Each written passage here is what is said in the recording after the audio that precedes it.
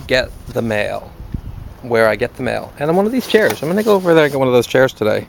Yeah, I'm gonna go get one of those chairs. Also getting the mail. Is there mail? Ah, one old piece of junk mail from before. This is the old piece of junk mail. Ace is the place with the helpful hardware man and woman and child. And there's a little dog in the back going, roof, roof. Yes, I've come to fix my roof. Thank you, dog.